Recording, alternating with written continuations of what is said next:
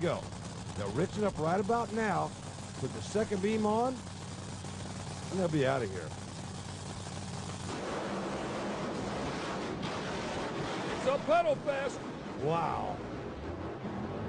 Wow! Oh, man, a huge side slap for Bruce Litton.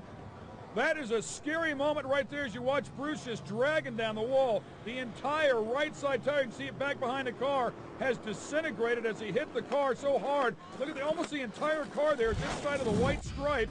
It is about half the width as it was when he started. Walk me through this, Brian. Oh, man, both cars hit the tires right at the hit of the throttle. They start smoking the tires. And what happens is once you're spinning those tires, there's only like an inch and a quarter of throttle, so there's no real way of feathering it. Bruce's car really hooked to the right side. In other words, it was up to its left, and that left tire bit and shot him right straight in the wall.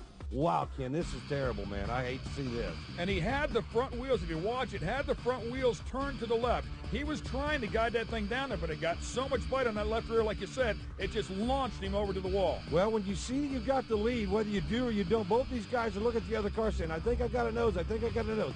Watch this car, it'll lean up to one side. That left tire will bite more and send Bruce right into the guardrail. Oh my gosh, what a hit. Oh man, that is violent, Ken. And the side slaps are always Oh, so man. hard.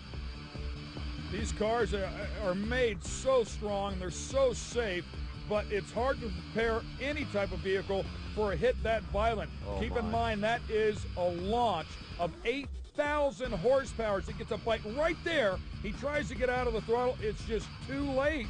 There's just no way a human can react quick enough to keep that thing off the wall. Man, absolutely not.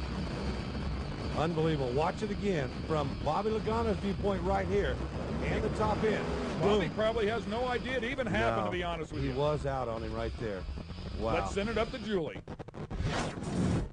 Thanks, guys. Now, we've had some reports that Bruce Litton is conscious. He has been talking with the safety officials. Now, they do fear that he has some broken bones and some severe cuts. They are now bringing in a helicopter so that they can get him to the hospital as quick as possible.